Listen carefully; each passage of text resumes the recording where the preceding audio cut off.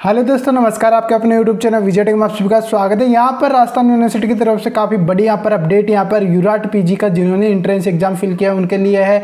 तो फिल किया है नहीं, जिन्होंने नहीं फिल करने, जो स्टूडेंट अभी तक फिल नहीं किया है, जिन्होंने, उनके लिए अपडेट है कि उनको वापस से मौका मिला है। कब तक यहाँ पर तारीख बढ़ाई गई है, वो आपको मैं बता दूँ। तो यूराट पीजी आप यहाँ पर देख पा रहे होंगे। यूराट पीजी पर मैं क्लिक करता हूँ।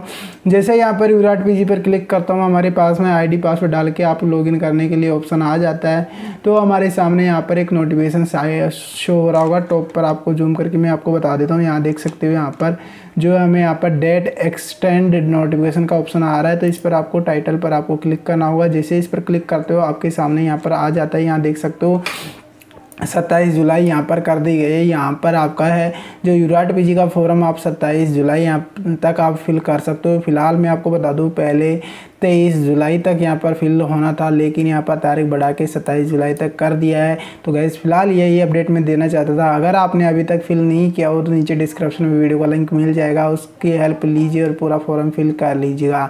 फ़िलहाल दोस्तों, आशा करता हूँ इन्फॉर्मेशन बहुत ही अच्छी लगी होगी। इन्फॉर्मेशन अच्छी लगी हो तो नीचे कमेंट बॉक्स कमेंट करें। साथ में वीडियो को लाइक एंड चैनल को सब्सक्राइब कर ले। साथ में बेल आइकन को दबा ले, जिससे नॉलेज सभी वीडियो की नोटिफिकेशन की जानकारी आपको तुरंत मिल जाए तो दोस्तों मिलते हैं वीडियो में। जो तक ले नमस्कार। जय हिंद, जय भारत।